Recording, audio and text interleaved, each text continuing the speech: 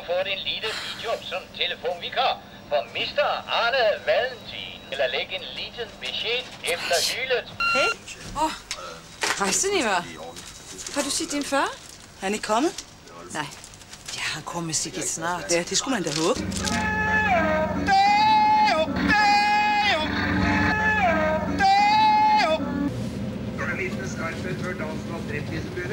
Skal du ha en lille skap for den som er streetchichen begynner?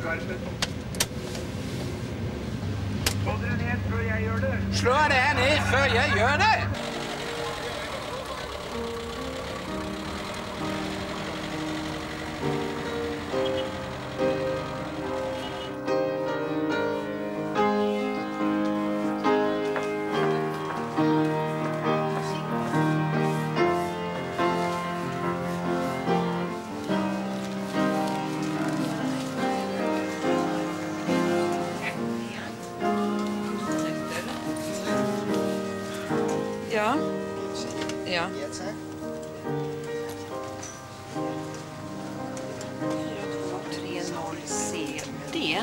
Øjeblik. Skal det ikke byttes velkommen?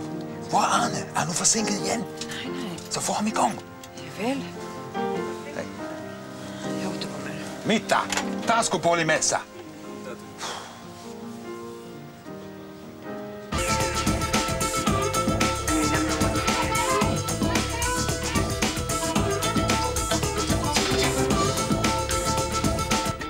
Ja, Arne er forsinket. ja. Gitte, du hjælper mig igen. Nej, men jeg har alt for travlt. Jamen, det er den sidste dag af hans prøvetid.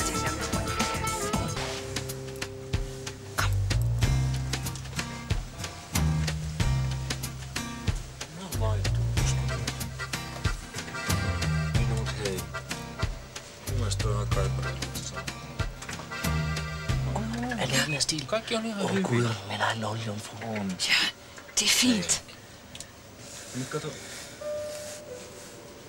God eftermiddag, mine damer og herrer. Mit navn er Arne Valentin. Jeg er deres cruise host, der vil holde dem informeret om vores aktiviteter ombord på Queen of Scandinavia. Good afternoon, ladies and gentlemen. This is your cruise host speaking. I would like to hold you informated about our activities on board. Så kan jeg fortælle dem, mine damer og herrer, at efter afsejlingen fra København er der Scandinavian Hour i vores pianobar, Admiral Bar. Kom op, få en drink, mød pianisten, og hvem ved,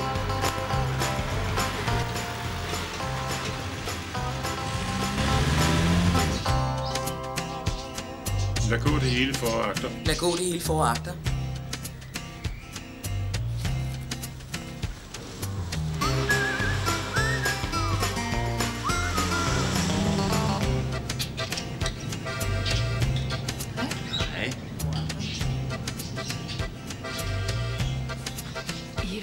Er han ikke kommet? Nej. Det er min far igen. Jo, det er din far. Han kommer. Han er dernede.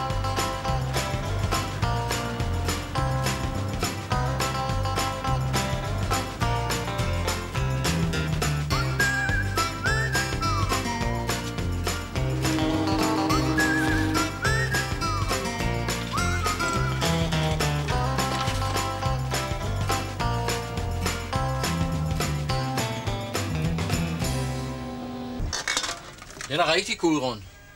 Jeg kommer kørende, og så ligger der en gammel kæling midt på gaden, så stopper jeg dig for at hjælpe hende. Det er da klart. Ja, ja, ja. Og så øh, ser jeg, at hun bare er punkteret. Og øh, jeg tager slangen ud, og så er det sådan noget kinesisk billigt lortegummi. Ja. Jeg kan godt sige dig, hvis... Min lille Florence Nightingale. Mm? Arne Valentin, det er mig. Og så, øh, jeg kan godt sige dig, du, hvis det gummi, vi laver kardon af, var lige så dårligt, som det, de laver cykelslanger af, så var vi sgu lige så mange, som de er i Kina. Det kan godt være, at det lyder som en usandsynlig løgnhistorie, men... Øh, Nej, nej, nej, nej, nej. Jeg synes, at det er den bedste løgnhistorie, jeg har hørt. Gudrun, stoler du ikke på mig? Nej, det gør jeg ikke.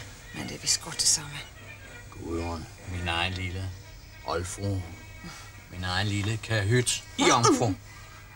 Jomfru, jomfru, hva'? Må jeg komme ind til dig, ja? Det får vi se. Ja. Gud, jeg er på nu. Åh, oh, nej.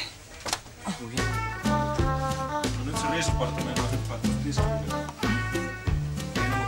er ikke nogen personaltelefon. No mä soitan sulle myöhemmin, okei? Okay? Moi moi. God eftermiddag, mine damer og herrer. Moin moin. Det er Arne Valentin speaking. Jeg er deres entertainment supervisor. Vi bevæger os nu mod det svenske territorie, og vi lægger ind til Helsingborg, hvor der vil komme nogle af vores svenske øh, fosterbrødre ombord, og så er det om at holde fast på sit glas, mine damer og herrer. Og ikke et ondt om svenskerne, men slip ikke ølglasset, når de ser de nye passagerer. Guten Abend, meine Damen und Herren. Heier ist Arne Valentins was und Morschaft. Ich befehle nicht, vi fahren gegen Schweden, så fast deine Sikkerhedsbad. Ja, og badetid. Arne!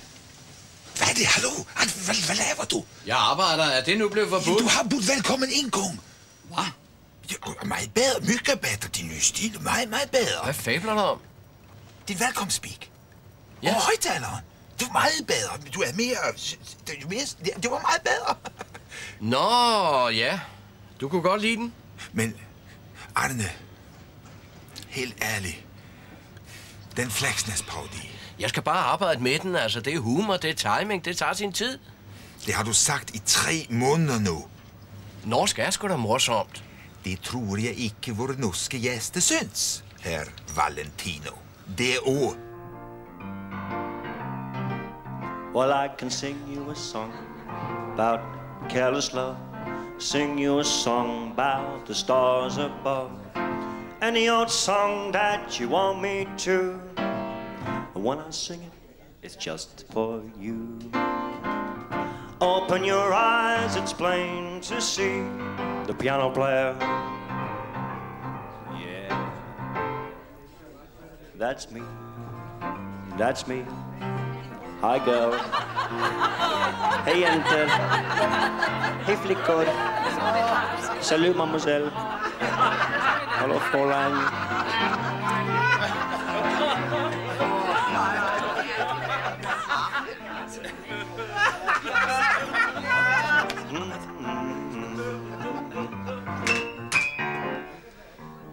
Ladies and gentlemen, may I present for you the Queen of Scandinavia's one and only Marva Flexness. Det er jo...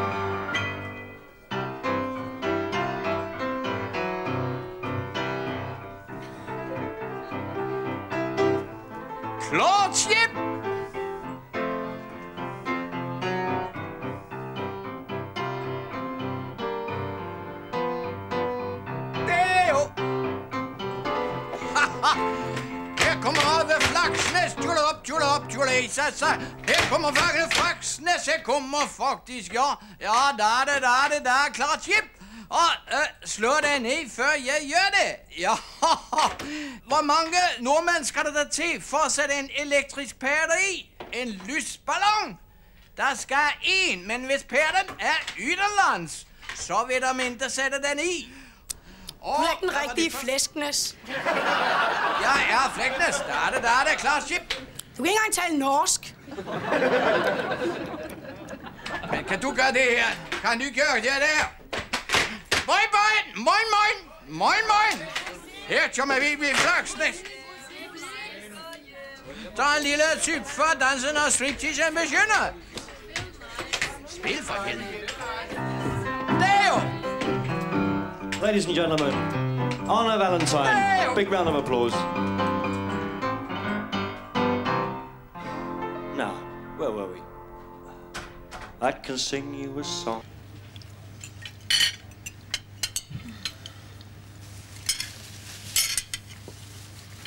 Nå. Det gik da meget godt. Hvis ikke du kan lide nummeret, kan du så ikke bare ikke sige det? Måske skulle du holde en pause med Fleksnes. Nå, nå. Ja, du er så god til at trylle, Arne. Ah, trylle, det siger mig ikke noget mere sådan rent kunstnerisk. Men kan du huske det der nummer, du lavede, da jeg var lille? Med akvariet og anden. Det var godt. Kan du huske det? Ja, men det var det, du fortalte mig. Ja, det var det, jeg ville lave op ved din mor i Sønsvald. Men der var det jo ikke fint nok. Man gør det jo nu. Folk er vilde med parodier. Fleksnes er sjov. Jeg parodierer Fleksnes. Men Martinen synes ikke, det er sjovt. Martin, han ejer ikke sans for humor. Det gør finder ikke. Altså stod det til dem, så var det ikke andet sprut og knive. Og Martin, altså prøv at se, hvad kniven strider. Du, han sidder lige parat. Skal det er herr Anne. Ah, Det er min datter, Gabi. Jaroslav, The new. Yeah. Is your daughter? Yeah. Wow, you are the new singer. I'm Arne Valentin, cruise manager. Yes, this is my daughter, Eva. Hi, Eva, Hi. And uh, this is my uh, uh, this is my colleagues, uh, Gudrun. Yeah. Hello. Uh, uh, Jaroslav, I think uh, I got a new idea. I, we should make a duet, Gaby and me. yes. Duet? A duet, yes, it's okay. Oh, no. That, whatever you say, Mr. Captain. Yes. See you sooner. Yes. Okay. Okay. I do it. You and me? Yes. Okay. I see you senere. Ja, det er Goodbye. godt, Jaroslav. Goodbye. Hvad er det for en duet? Du plejer aldrig synge duet. Folk er vilde med duetter, og der mangler noget nyt på repertoireet, så Jaroslav og jeg, vi har længe talt om, at vi skulle lave en duet. Left foot at first, left and back and round and dance like Gene Kelly, you know? And come on, music, one, two, three, four, five. Ba, ba, ba, ba, and back. You have the time to spend it even with me. And if we go someplace to dance, I know Da-da. there's a chance you won't believe it with me. Na, na, na. And then, please. Hvad laver du? Du skal lave hestevadløb. Vi er allerede i Helsingborg. Nå, ja, jeg er bare ved at prøve et nyt nummer, altså et dansenummer. Ja, så. Flere nye numre.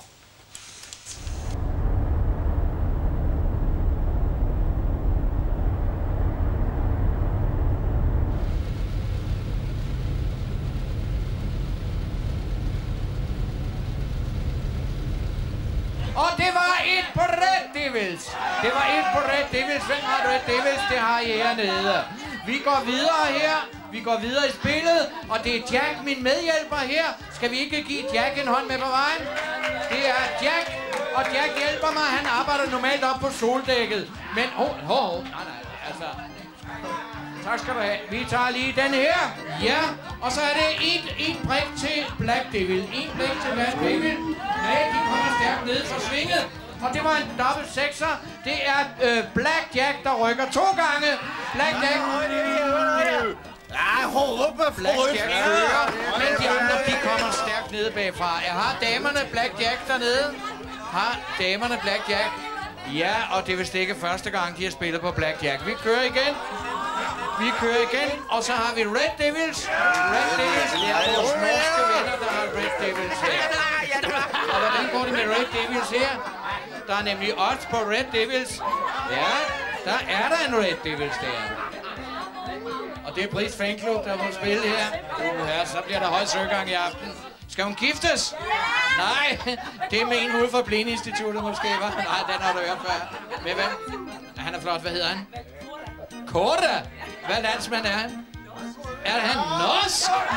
Jamen, det er jo ren hvid slavehandel, der taler om her fra Danmark. Morgen, morgen.